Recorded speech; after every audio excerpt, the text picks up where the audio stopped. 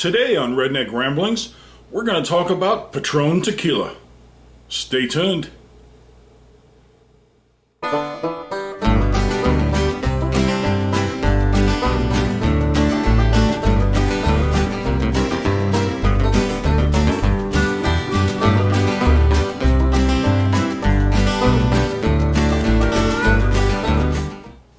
Hi, this is Redneck Ramblings.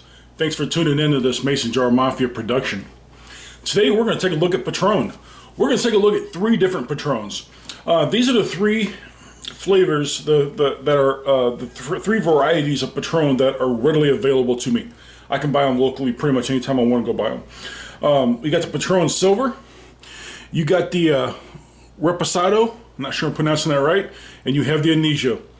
Um, basically, these are all the same base product. Um, this one is aged for three months. This one is aged for a year.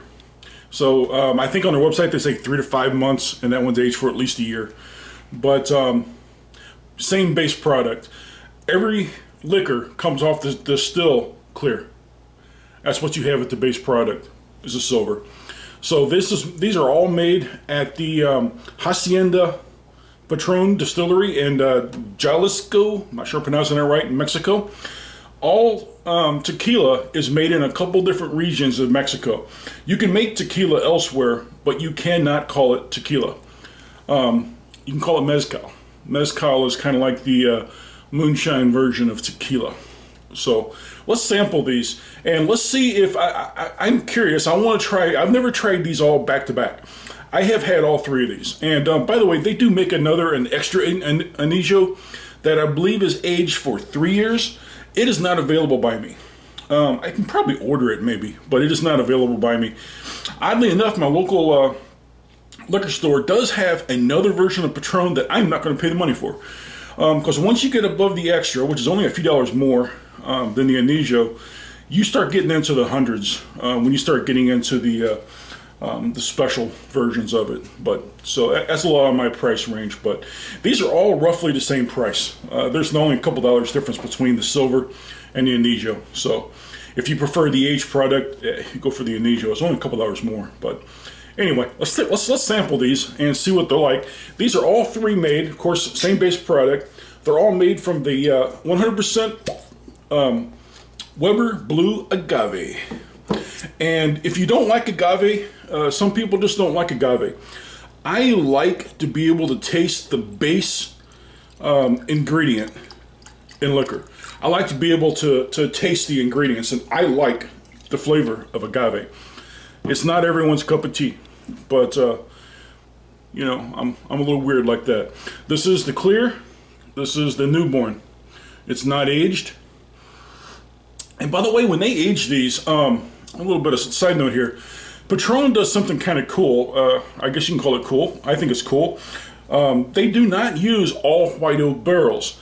Um, they use a combination of um, uh, French oak, Hungarian oak, and used American whiskey barrels.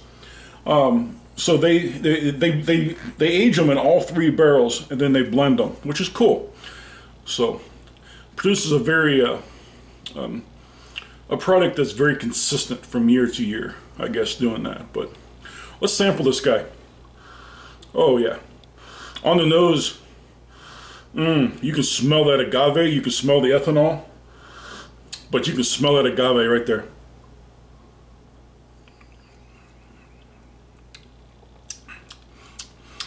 And that agave right there on the lips. That's what that's what hits you. You get the agave on the lips and the front of the tongue you get the ethanol in the back. Aftertaste is pure agave. I mean, that's that's what you're that's what you're tasting. It doesn't have a. Uh, these are all only 80 proof. Um, there is no there's no alcohol burn really. Um, you don't get a, a uh, consistent burn, just a little bit of a warming as it goes down. Mmm. But yeah, you get that agave you get that raw, naked agave flavor in this. Mm. But that's where the flavor comes from in the in the clear, all from the agave. I'm gonna get a different glass here. and I'm also gonna rinse my uh, taste buds off a little bit. Just a little bit of ice water. But I'll just you up front, I like all three of these, but uh, I'm not sure which one I like best, really. Um, let's, let's, try the, uh, let's try this one.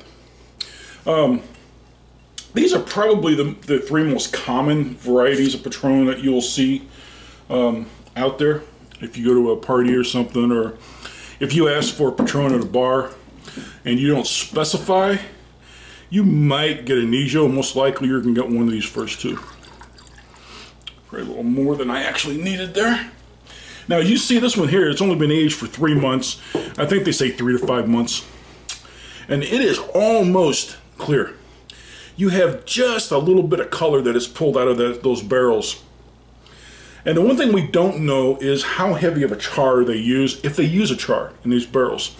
Um, they, they don't, they're not real, uh, real open about their, um, you know, the, the whole process of it. Um, there, there are some things that Patron keeps to themselves, and that's one of them. They don't tell you the char that's on their barrels, but they do tell you that they use some American whiskey barrels, which typically are a heavy char, a medium to a heavy char. So three months to five months in a barrel. Let's see what kind of flavors we get here. See if we pull any of that, uh, see if we pull any kind of uh, uh, caramels or anything from that, uh, that barrel or any kind of an oak flavor or something. Let's just see here on the smell, you know, it does smell different. You don't have quite a, um, you don't have, the fragrance on this one is all agave. I mean, and, and, a little bit of ethanol. That's what you smell. This one here is a little more refined. The smell on it is, you can still smell that agave, but it is not as forward as it is in the silver. Let's taste it.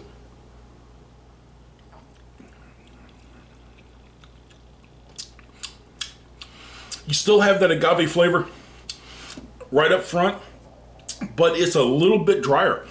Um, so you still taste the agave here. Um, plenty of plenty of agave flavor, but it's uh, it's starting to dry out a little bit. It's not as uh, it's not as bold and as vibrant of agave flavor as what you have in the silver, but you can still taste it. And I don't even know if that color is going to even show through on camera. Um, it is such a light tinge to it I'm kind of amazed that the flavor changed that much really in just three months, but mm. Absolutely though. You get that agave flavor, you get a drier agave, and a um, little bit of a little bit of an alcohol on the back, but there's just just like the silver, there is no no alcohol burn with this. They're they're the silver and the Reposado are both a pretty smooth product. So let's try the third one. This is Nijo. Um, most people that are uh, um, rum drinkers will tell you to go straight for the Anesia. Don't even bother with the um, with the silver versions. But let's just see here. And I think the term Anejo in rum typically uh, infers that it's been aged for three months. Or I'm sorry, three years. I may be wrong about that, but but the uh, Patron Anejo, one year on oak, or I'm sorry, one year in oak cask. It doesn't necessarily have to be oak. You definitely have more flavor, more color on that. Definitely have more color, but again, it's not uh, it's not to the uh, it's not as, as, as, as deep of an amber color as you would have with an American whiskey. And I'm guessing they don't use a char in their barrels. I'm just guessing that. I don't know that for a fact because their website doesn't say. I have watched a document a documentary on um, making Patron. It's a very interesting process, but there's a lot of things that they just don't show you. Um, sample this. Mm. Now on the on the aroma on this, you can still kind of smell the agave. It's a uh, it's still there, but it, it is definitely more of a refined agave smell. So it's actually that's a that liquor in those barrels is really starting to show some benefit of being in the barrels at that one year mark. Let's taste this guy.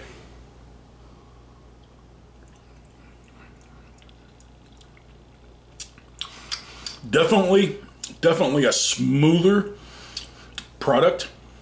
You can still taste the agave. The agave is not that strong of a flavor in that. you're starting to get more of a, uh, a liquor type flavor as opposed to an agave flavor. And I'm not sure.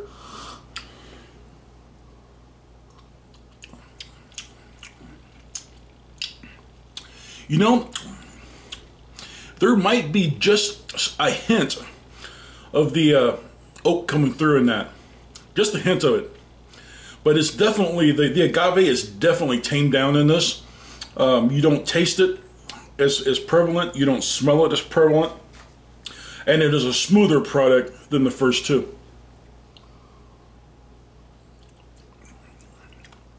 I think on their website they advertise the uh, Nijo as the uh, perfect for sipping. And uh, interesting. I'm wash my mouth out again. Let's try this again.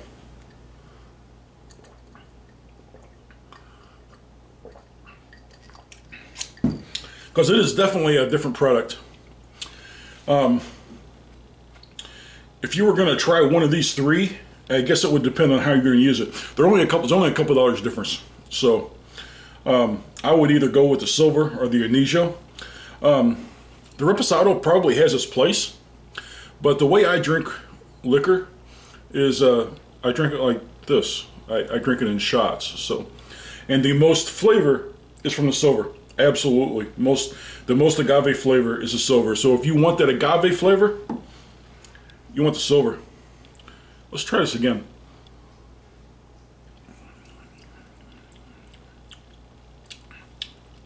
There is absolutely a hint of the uh, oak coming through that. It's very subtle. It's not up front. You get it in the back and you get it on the aftertaste. But uh, the one thing you don't get on the aftertaste is the agave. So on the uh, on the silver, I got the uh, I got the agave up front, and then I got it I got it on the uh, on the tail after it was done, the aftertaste, if you will.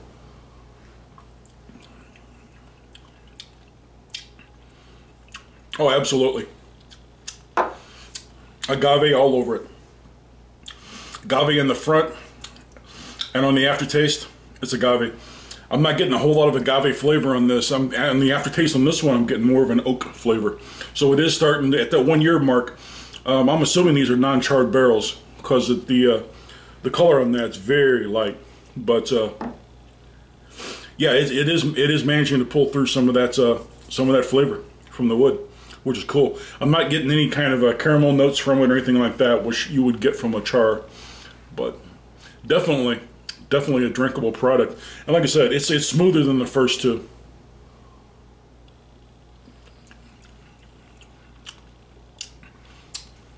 Definitely, if you're to sit here and just and sip on it, and uh, you don't mind, you're not necessarily looking for that um, um, that raw, naked agave flavor. This would probably be the one to use. It's probably the one you want to go to. If you want the agave, you got to do the silver out of these three. And um, I've never tried a version above these three. Um, so I know there's an extra out there. I've never even tried the extra. And there are some other versions of it. But um, like I said, the, the more uh, the higher end versions of Patron are way out of my price league. So these three are reasonable. They're mid 50s, something like that, less than $60 a bottle. So, mmm. That's it. If you've never tried Patron, if you're interested in a tequila, it is definitely worth it's definitely worth trying. There are a lot of people that uh, I know people that Patron's all they drink. Now, I am not to that extent. I don't have a uh, a liquor that I drink exclusively. Um, I've never had a liquor that I drink exclusively. Um, I like a lot of different stuff, but uh, I do like I do like that uh, that raw naked agave flavor that you get from the silver. It's pretty good. I like it. I recommend it. Even if you just try the silver. If all you've ever had is the Anisio, you've never tried the silver, give the silver a try. I think you'll like it. But uh, that's what I think. I'm gonna sit here and finish these these couple shots, and uh, we're gonna call it a we're gonna call it a night. Thank you for watching. Be sure and click that uh, subscribe button down below if you're not subscribed to this channel. Be sure and click that like button if you like this video. Share it with your friends. Thank you. You have a good night.